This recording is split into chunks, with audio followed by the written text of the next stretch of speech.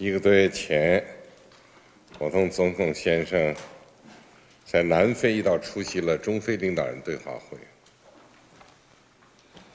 总统先生这次欣然应邀来华出席第三届“一带一路”国际合作高峰论坛，充分体现了刚方对发展两国关系的重视和对共建“一带一路”倡议的大力支持。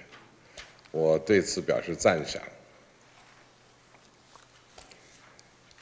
今年是共建“一带一路”倡议提出十周年，刚果部是共建“一带一路”的积极参与方和重要合作伙伴。我们始终秉持和平合作、开放包容、互学互鉴、互利共赢的思路精神。推进友好交流合作，取得了实实在在的成果。刚果部国家一号公路、中钢非洲银行、布拉柴维尔商业中心等一系列项目成功实施，堪称典范。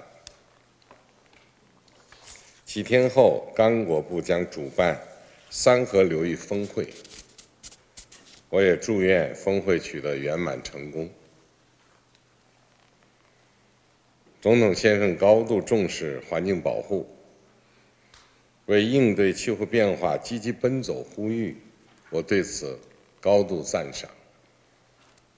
绿水青山就是金山银山，绿色发展也是共建“一带一路”合作的底色。我们愿同包括刚果部在内的各方一道努力，深化绿色合作，保护我们共同的地球家园。